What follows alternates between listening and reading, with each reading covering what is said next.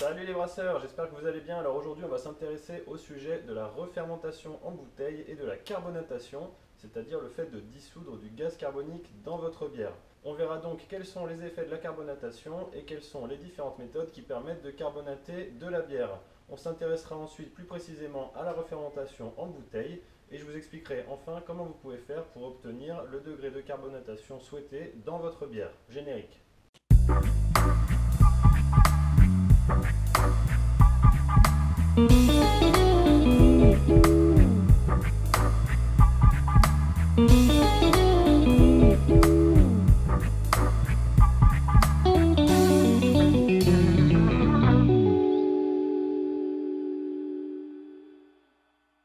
Alors ce qu'on appelle la carbonatation, ça va correspondre au fait d'avoir du gaz carbonique dissous dans votre bière, ce qui va avoir plusieurs effets sur l'expérience de dégustation de cette bière.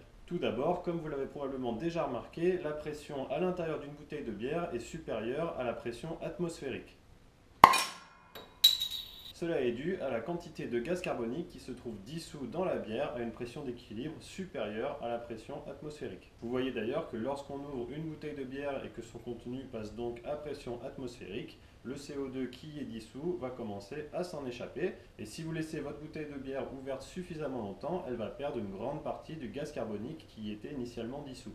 Donc je vous ai mis ici en bleu la réaction de dissolution du gaz carbonique dans l'eau. Et ce qu'on peut voir, c'est que lors de cette réaction de dissolution, une molécule de gaz carbonique va s'associer avec une molécule d'eau pour former un ion carbonate et relâcher un proton H+. Par conséquent, puisqu'on sait que l'acidité d'une solution va dépendre de la concentration des protons H+, dans cette solution, on comprend que la dissolution du gaz carbonique dans une solution aqueuse va avoir tendance à acidifier cette solution. C'est donc le premier effet de la carbonatation qui va avoir tendance à acidifier votre bière. Le deuxième effet de cette carbonatation sur votre bière, ça va être de la rendre effervescente. Votre bière se trouve initialement dans sa bouteille fermée hermétiquement à une pression supérieure à la pression atmosphérique avec du gaz carbonique dissous dans la bière. Lorsque vous allez ouvrir votre bouteille, son contenu va descendre à pression atmosphérique, ce qui va provoquer un dégazement du gaz carbonique contenu dans votre bière et donc l'apparition de bulles de CO2 dans votre bière. Et c'est ça qu'on appelle l'effervescence. Cette effervescence, eh elle va avoir deux effets distincts sur le ressenti lors de la dégustation de votre bière. Le premier effet, ça va être la sensation des bulles de gaz carbonique dans votre bouche lorsque vous dégustez la bière. Et le deuxième effet de cette effervescence, ça va être de permettre l'apparition d'une belle mousse sur votre bière.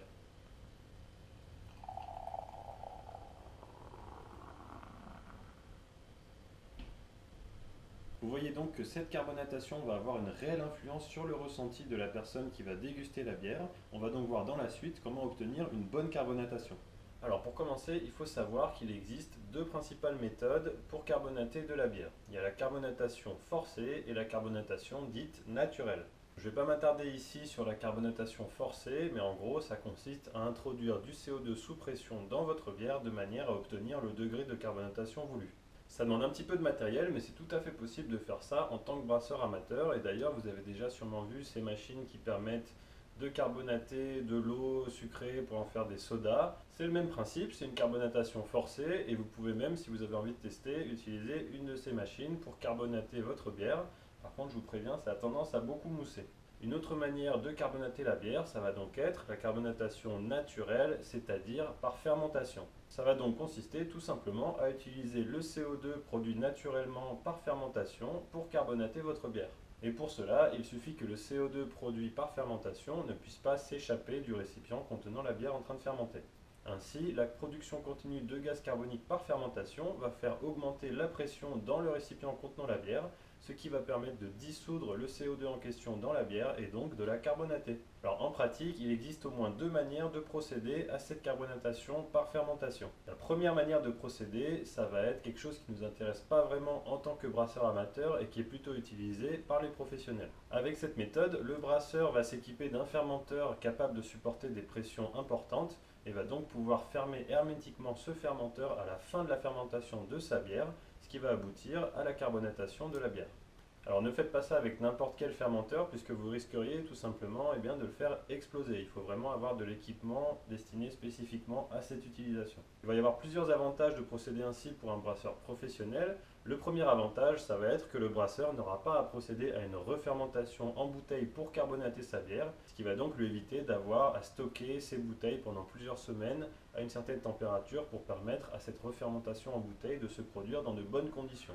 Ça peut également permettre au brasseur, s'il le souhaite, de filtrer sa bière avant embouteillage afin d'en retirer toutes les cellules de levure, ce qui peut être intéressant notamment si le brasseur a envie de garder sa variété de levure secrète.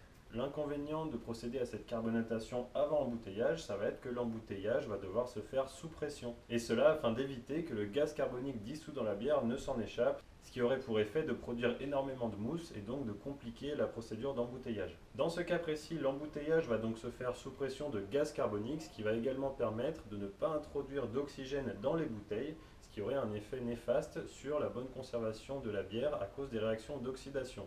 Vous voyez donc que cette méthode de carbonatation nécessite pas mal de matériel assez coûteux, c'est pour ça qu'en général elle est plutôt utilisée par des brasseurs professionnels. Et donc la méthode qui va nous intéresser plus particulièrement en tant que brasseur amateur, ça va être la méthode de carbonatation par refermentation en bouteille ou en fût. Le principe de cette méthode consiste tout simplement à laisser notre première fermentation arriver à son terme avec notre bière dans son fermenteur qui laisse échapper le gaz carbonique produit et ensuite de procéder à une seconde fermentation une fois que la bière se trouvera dans des bouteilles fermées hermétiquement, ce qui va donc aboutir à une carbonatation de la bière. Et donc en principe, cette seconde fermentation qui se produit dans les bouteilles a pour unique but de carbonater votre bière et pas de modifier son profil aromatique. Cette méthode va avoir plusieurs avantages. Tout d'abord, elle est relativement facile à mettre en œuvre et elle ne nécessite pas de matériel coûteux. Ensuite, le fait de procéder à cette refermentation dans les bouteilles va permettre d'éliminer tout l'oxygène qui aura été introduit dans la bouteille pendant la procédure d'embouteillage. Cet oxygène va être consommé par les levures exactement comme ce qui se produit pendant la phase d'adaptation d'une fermentation classique en fermenteur. Et enfin, le dernier avantage de procéder à cette refermentation en bouteille ou en fût, c'est que la levure va rester au contact avec la bière pendant toute sa durée de conservation et va donc permettre de faire évoluer la bière pendant toute la phase de maturation. Alors je vais maintenant vous présenter plus en détail cette méthode de carbonatation par refermentation en bouteille. Alors de manière à provoquer cette refermentation dans nos bouteilles, on va venir rajouter une certaine quantité de sucre fermenté cible dans notre bière contenant encore une partie de sa levure. Plus précisément, pour pouvoir procéder à cette refermentation en bouteille dans de bonnes conditions et ainsi obtenir une bonne carbonatation, on estime que la bière doit contenir approximativement 1 million de cellules de levure vivantes par millilitre de bière et jusqu'à 5 millions de cellules de levure vivantes par millilitre de bière lorsqu'il s'agit de bières à forte densité et donc qui vont avoir un fort degré d'alcool au moment de la mise en bouteille. Donc à ce propos, sachez que de manière générale, lorsque vous allez venir transférer votre bière depuis son fermenteur jusqu'à la cuve d'embouteillage, vous allez embarquer avec votre bière une quantité de cellules de levure vivante qui sera largement suffisante pour procéder à cette refermentation en bouteille et donc obtenir une bonne carbonatation. Donc concernant ces sucres fermentés cibles qu'on va devoir rajouter à notre bière au moment de l'embouteillage de manière à provoquer cette refermentation en bouteille, on va pouvoir utiliser du sucre de table, donc par sucre de table, on entend du glucose, du fructose ou du sucrose. On peut également utiliser du dextrose, qui va donc être un sucre issu de l'amidon de maïs, mais on pourrait également utiliser de l'extrait de malt sec, de l'extrait de malt liquide, du mou et même de la bière en train de fermenter et qui contient donc encore des sucres fermentescibles résiduels. Et enfin, une dernière alternative avec laquelle vous n'aurez pas besoin de rajouter de sucre fermentescible à votre bière au moment de l'embouteillage, ça va consister à embouteiller votre bière alors qu'elle n'aura pas encore terminé totalement sa première fermentation et qu'elle se trouvera seulement à quelques points de densité spécifique de sa densité finale. Dans ce cas précis, il n'y aura pas à proprement parler de refermentation en bouteille puisque la bière va simplement terminer sa première fermentation dans les bouteilles, ce qui va permettre d'obtenir une carbonatation. Alors faites quand même attention avec cette méthode puisque de manière à estimer quelle va être la carbonatation obtenue, il faut que vous ayez une bonne connaissance de ce que sera la densité finale de votre bière. Si vous ne connaissez pas bien votre bière ou votre levure, je vous déconseille d'utiliser cette méthode parce que si vous vous trompez de quelques points de densité sur votre densité finale, vous risquez d'obtenir une pression trop importante dans vos bouteilles, ce qui pourrait les faire exploser. De manière générale, avec toutes ces méthodes de carbonatation par refermentation en bouteille, Faites bien attention au risque d'explosion de vos bouteilles. Si vous rajoutez trop de sucre fermentescible dans votre bière au moment de l'embouteillage ou si vous embouteillez trop tôt une bière dont la fermentation n'est pas terminée ou si vous utilisez des bouteilles qui ne sont pas destinées à supporter la pression, vous prenez le risque que la refermentation fasse exploser vos bouteilles, ce qui peut être vraiment très dangereux. Donc faites bien attention à ça et surtout utilisez toujours des bouteilles destinées à supporter la pression, comme des bouteilles de bière classiques. Et maintenant, de manière à vous éviter ce genre de mésaventures, je vais également vous expliquer comment vous pouvez calculer quelle quantité de sucre fermentescible vous pouvez rajouter à votre bière au moment de l'embouteillage de manière à obtenir le degré de carbonatation souhaité. Alors tout d'abord, afin d'exprimer le degré de carbonatation d'une bière, c'est-à-dire la quantité de gaz carbonique qui s'y trouve dissous, on va utiliser une unité appelée les volumes de CO2. À quoi correspond cette unité? Eh bien si je considère une certaine quantité de bière carbonatée par exemple à 2 volumes de CO2, et si je retire tout le CO2 dissous dans cette bière et que je le place sous sa forme gazeuse à pression atmosphérique et à une température de 0 degré Celsius, eh bien le volume occupé par cette quantité de CO2 serait équivalent à deux fois le volume occupé par la quantité de bière considérée. Donc si je prenais tout le CO2 dissous dans 1 litre de bière carbonatée à 2 volumes de CO2 et que je plaçais ce CO2 sous sa forme gazeuse à pression atmosphérique et à une température de 0 degré Celsius, eh bien j'obtiendrais un volume de CO2 de 2 litres. Alors maintenant que vous savez ça, la première chose à comprendre, c'est que bien qu'elle fermente dans un fermenteur laissant s'échapper une partie du CO2 produit pendant la fermentation, à l'issue de cette fermentation, votre bière va être tout de même un petit peu carbonatée. En effet, même à pression atmosphérique, une partie du CO2 qui va être produit pendant la fermentation va se dissoudre dans votre bière. Ce CO2 dissous dans votre bière à l'issue de cette première fermentation, on va l'appeler le CO2 résiduel. Et il va falloir prendre en compte ce CO2 résiduel lorsqu'on va venir calculer quelle quantité de sucre fermentescible on va vouloir rajouter à notre bière pour obtenir la carbonatation voulue à l'issue de la refermentation en bouteille. Alors cette quantité de CO2 résiduel, elle va dépendre de la température à laquelle aura fermenté votre bière.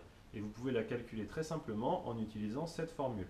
Avec cette formule, vous obtenez donc la concentration en CO2 résiduel dissous dans votre bière, exprimée en volume de CO2, en fonction de la température à laquelle aura fermenté votre bière, exprimée en degrés Celsius. Et vous remarquerez que plus la température à laquelle aura fermenté votre bière va être basse, la quantité de CO2 résiduel dissous dans votre bière à l'issue de cette fermentation va être élevée. Et donc pour bien utiliser cette formule et ainsi obtenir une valeur de concentration de CO2 résiduel qui soit le plus proche possible de la réalité, l'important ça va être de bien choisir la valeur de température qu'on va utiliser dans la formule. Je m'explique. Imaginons que votre bière ait commencé par fermenter à 18 degrés, puis que vous ayez décidé en fin de fermentation d'augmenter cette température de quelques degrés, si bien que votre fermentation secondaire se soit déroulée à 20 degrés Celsius. Dans ce cas précis, votre bière contenait une certaine quantité de CO2 dissous à 18 degrés Celsius, mais le fait d'augmenter sa température à 20 degrés Celsius a diminué la quantité de CO2 dissous qu'elle pouvait accueillir. Par conséquent, lorsqu'elle est passée de 18 à 20 degrés, votre bière a dû relarguer une partie du CO2 dissous qu'elle contenait afin d'atteindre la concentration en CO2 dissous d'équilibre à 20 degrés Celsius.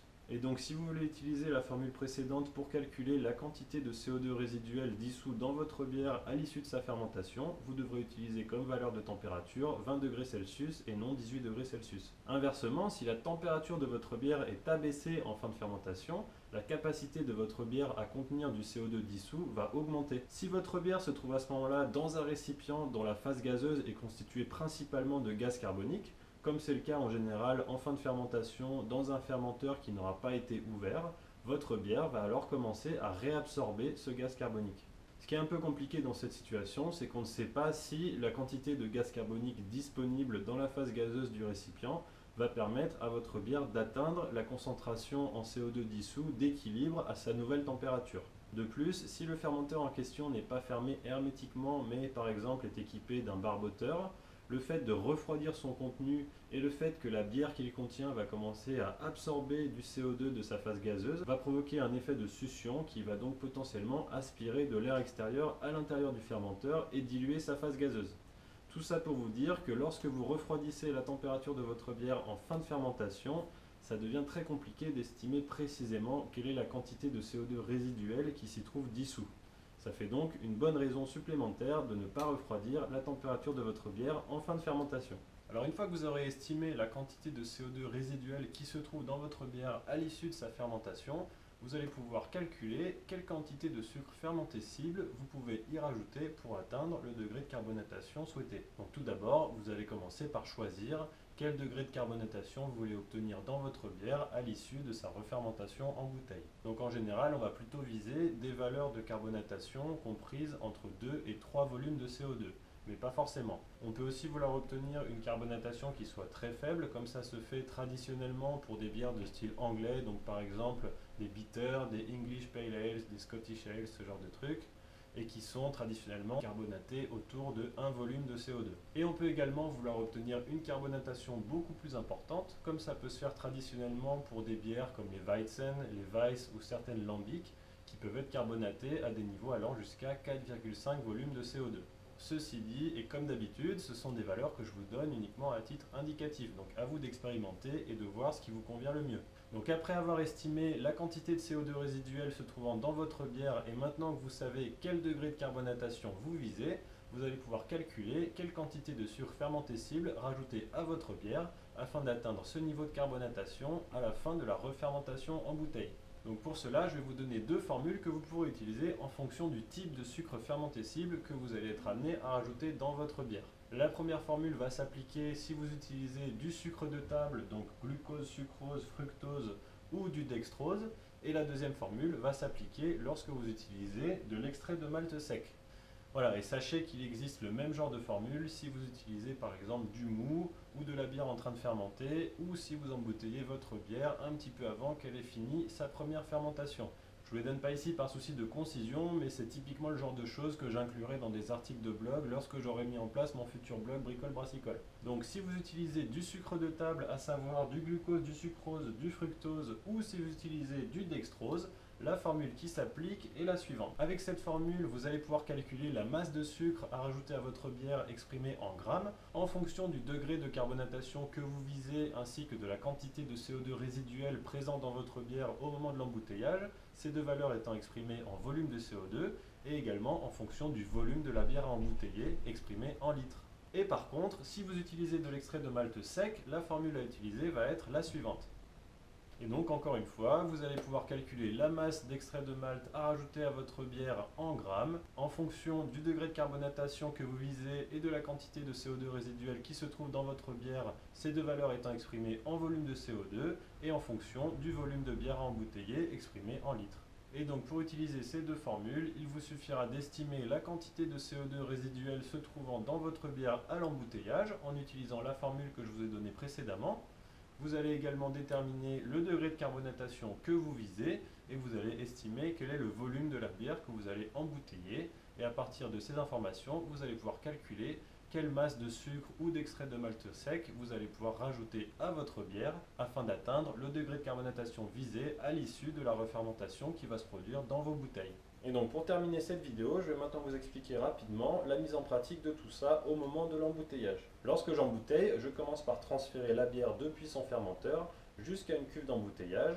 en l'occurrence un seau que j'aurai aseptisé au préalable. Si jamais la bière est restée dans son fermenteur pendant très longtemps, donc par exemple plus de 2 ou 3 semaines après la fin de sa fermentation, ou si je travaille avec une levure qui est très floculente, ou si j'ai fait subir à la bière un conditionnement à froid avant l'embouteillage. Ce que je vais faire au moment du transfert depuis le fermenteur jusqu'à la cuve d'embouteillage, c'est que je vais essayer d'embarquer une petite quantité de levure de manière à m'assurer qu'il y ait suffisamment de cellules de levure vivantes présentes dans la bière pour procéder à la refermentation en bouteille. Ceci étant dit, et de manière générale, si vous embouteillez juste après la fin de votre première fermentation, vous n'aurez pas besoin de faire ça parce qu'il y aura déjà suffisamment de cellules de levure en suspension dans votre bière pour assurer une bonne refermentation en bouteille.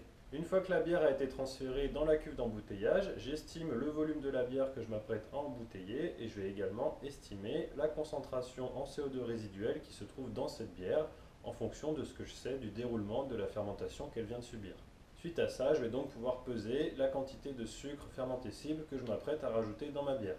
Alors attention, ne rajoutez pas du sucre ou de l'extrait de malt ou quoi que ce soit tel quel dans votre bière. Vous risqueriez, si vous faites ça, de la contaminer. Donc plutôt que de faire ça, ce que je vous conseille, c'est de prendre la quantité de sucre fermenté cible que vous voulez rajouter dans votre bière, de la diluer dans une petite quantité d'eau. Donc en général, pour des brassins de 10 ou 20 litres, on va être sur 100, 150, 200 ml d'eau maxi, ça va suffire. Ensuite, une fois que vous aurez dilué vos sucres fermentés cibles dans cette eau, vous allez porter cette solution à ébullition et la maintenir à ébullition pendant environ 15 minutes, ce qui va permettre de la pasteuriser.